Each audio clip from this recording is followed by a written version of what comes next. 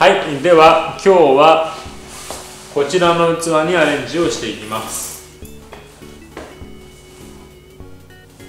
行ってみよう。今日市場行く時間がもうそういえば過ぎてるんですよ。もう早くしなきゃいけないです。いきます。まずはこのデンドロビウムを当てます。でこれデンドロって結構ね顔があるんですよ。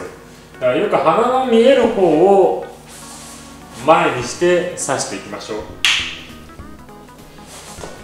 でこの葉っぱもここの下の部分すぐ捨てちゃう人いますけどこれもったいないんでもったいないというよりはかわいそうじゃないですか。だからせっかくこう授かったね命なんで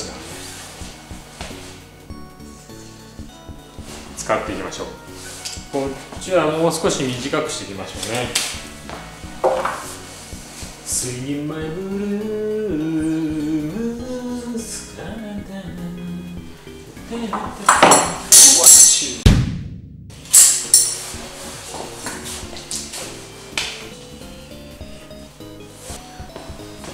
えー、次にモンステラを入れていきます。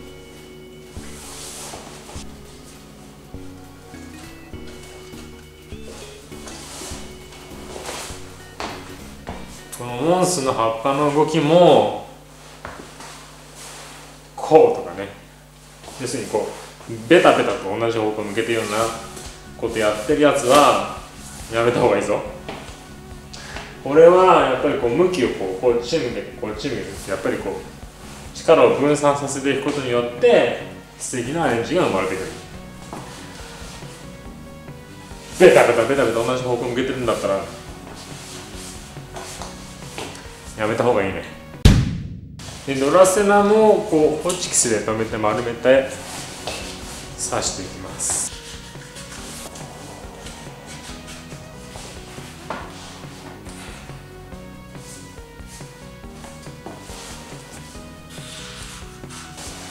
はい、えー、次にこのカーネーションを入れていきます。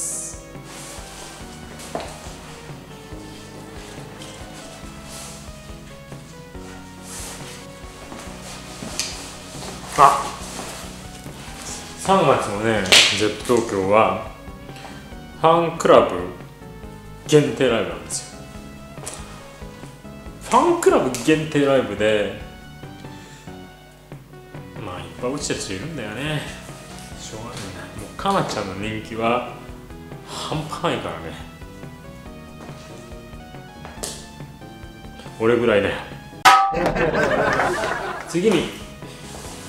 エレンジウムを入れていきます。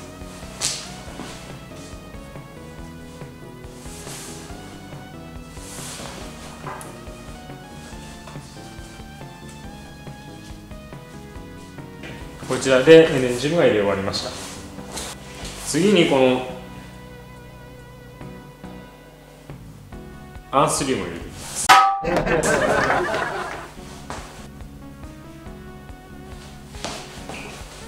最後にこのスネークボールを入れていきます。これがアクセントラインがバッチリ入るんだよこれ。完璧だ。あれ今日っ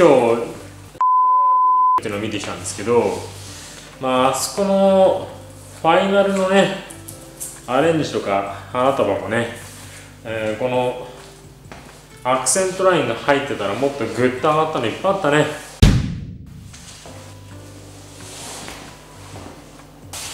はい、えー、こちらで完成です。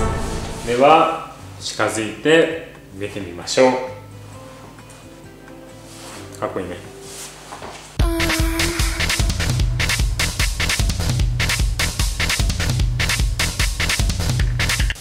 はい、えー、こちらのアレンジメントはいかがだったでしょうか、えー、やっぱ最後に入れたアクセントラインね。こっちの方が見やすいこの最後に入れたアクセントラインが効いてますよね、うん、このアクセントラインの入れ方一つでアレンジメントはぐっと変わります？え、なのでぜひこのアクセントラインはこう N フラワーの会員さんはねこう常にこう勉強してると思いますけれども勉強他の方も勉強してください。うん鼻のアウトラインと違った鼻のアクセントラインとアウトラインっていう僕の本があるんで、えー、読んでもらえれば理解できると思います。ではまた次回お会いしましょう。ライブチケットお願いします。See you next time. はい、えー、フラワー TV ではチャンネル登録を募集しております。チャンネル登録はこちら。こちらをクリックしてください、えー、スマートフォンタブレットの方はこちらが見えてないと思いますので下のリンクよりチャンネル登録お願いします。ではお待ちください